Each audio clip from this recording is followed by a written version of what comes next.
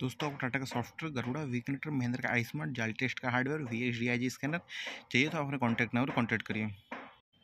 तो जैसा कि दोस्तों, इसके पहले मैंने बूस्ट प्रेशर का पार्ट वन वीडियो बनाया था। मैंने पार्ट वन में आपको बताया था क्या क्या पाँच पॉइंट ऐसे चेक करना पड़ेगा। ये पार्ट टू वीडियो है, जिसमें आपको बताया जाएगा कि जो बूस्ट प्रेशर का फॉल्ट कोड है boost pressure very low boost pressure low तो उस कंडीशन में आप क्या क्या पॉइंट चेक करेंगे। जैसा कि मैंने पाँच टॉप पाँच चेक पॉइंट पहले बताया था, पाँच चेक पॉइंट आपको ये वीडियो में बताऊँगा।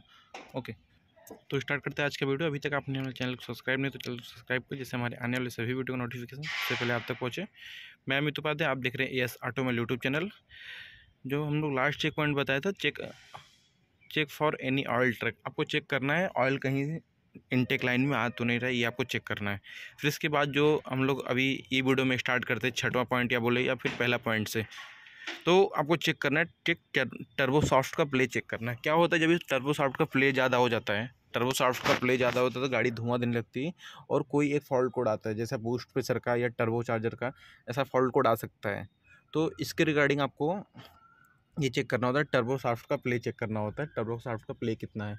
आप ये समझ गए होंगे, क्योंकि ये इंट्रा और एस एच टी प्लस जो बी एस सिक्स गाड़ी आई है और उसके बाद जो एस गोल्ड प्लस है H T plus, Ace gold plus, जो लेटेस्ट गाड़ी आ रही है, सी डी पी एफ़ के साथ pigtail wiring C D P F के साथ में जो गाड़ियाँ आ रही हैं, उसमें ये फॉल्ट कोड बहुत ज़्यादा आ रहे हैं। तो इसके रिगार्डिंग मैंने ये वीडियो बना जैसे आपको ये नई गाड़ी में काम करने के लिए आसानी हो।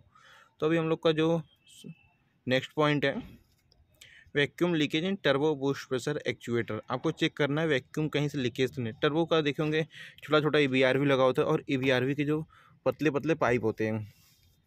ओके, वो आपको पाइप चेक करना रहेगा। वो पाइप आप चेक करेंगे, आपको मालूम पड़ जाएगा कि पाइप कहीं से लीकेज है कि नहीं लीकेज है, ये चीज़ आपको चेक करना रहेगा। अगर पाइप कहीं से लीकेज रहेगा तो भी ये फॉल्ट कोड जनरेट होगा और गाड़ी में पुअर पिकअप का इशू आएगा। इसके लिए आपको ये भी चेक पॉइंट काफ़ी इंपॉर्टेंट है, आपको ये भी चेक पॉइंट चेक करना रहेगा। फिर उसके बाद जो हम लोग का नेक्स्ट चेक पॉइंट है, turbo charger boost pressure actuator EVRV fault. जैसा मैंने बताया, आपको ईवीआरवी का प्रॉब्लम हो सकता है। आप ई e को चेक करेंगे। अगर ई e आपको देखने में ठीक लग रहा है, और या तो फिर पीछे से जो प्लेट होता है उसका, वो प्लेट निकले तो वहाँ से वैक्यूम लीकेज करने लगता है। तो आपको ई e के पीछे भी चेक करना है। अगर वहाँ से वो प्रॉब्लम रहेगा तो वो भी आपको चेंज करना रहेगा। फिर उसके बाद जो हम लोग का नेक्स्ट पॉइंट है, आपको चेक करना रहेगा turbo boost pressure actuator feedback sensor जो टर्बो में क्या होता है छः पिन का कपलर लगा होता है पाँच पिन छः पिन का कुछ ऐसा कपलर लगा होता है किसी गाड़ी में पाँच पिन, किसी पिन गाड़ी में छः पिन, ऐसा कपलर लगा होता है। वो कपलर आपको चेक करेंगे वो फीडबैक सेंसर का होता है।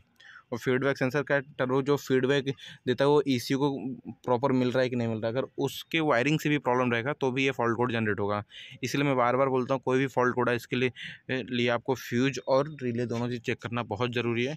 क्योंकि जब आप फ्यूज और रिले चेक करोगे तो ही आपको मालूम पड़ेगा कि वायरिंग इसका सही है कि नहीं। आपने वोल्टेज चेक कर रहा है, वोल्टेज नहीं आ रहा है तो आप क्या करेंगे? पहले वायरिंग खोल देंगे? नहीं, पहले आपको फ्यूज चेक करना रहेगा रिले चेक करना रहेगा, फिर उसके बाद अगर फ्यूज रिले सही मिलते फिर उसके बाद आप वायरिंग को फाड़ेंगे, वायरिंग को चेक करेंगे, वायरिंग फाड़ के चेक करेंगे। फिर उसके बाद जो हम लोग का लास्ट पॉइंट है सॉरी नेक्स्ट पॉइंट जो है turbo charger waste gate actuator shut open turbo charger के ऊपर, आप अपने लैंग्वेज बोल सकते हो, ऊपर एक लट्टू लगा होता है गोल का, वो देखेंगे लट्टू किसी किसी में, वो पाइप निकल जाता है तो भी ये फॉल्ट कोड जनरेट होता है तो आपको ये भी चेक करना है। ऐसा हम टेक्निकली लैंग्वेज में बात करें तो फिर टर्बो का जो वेस्ट गेज एक्चुएटर होता है सेट ओपन हो जाता है उसका जो वाल्व होता है वो निकल जाता है तो इसके लिए फॉल्ट कोड जनरेट होता है।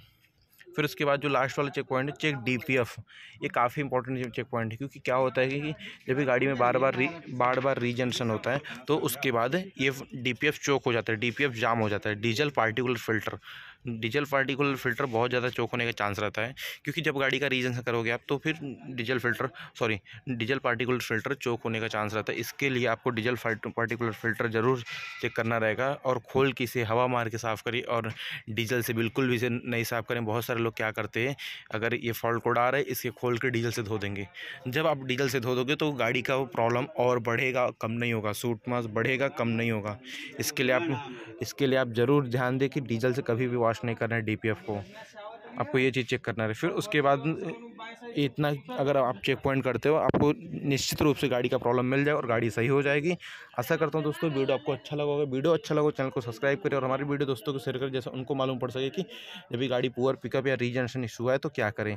धन्यवाद वीडियो पूरा देखने के लिए। मैं अमित उपाध्याय, आप देख रहे हैं S auto mail YouTube channel आपको टाटा का software Garuda V connector Mahindra I smart Jaltest का software V X D I G scanner या फिर टाटा मोटर का ट्रेनिंग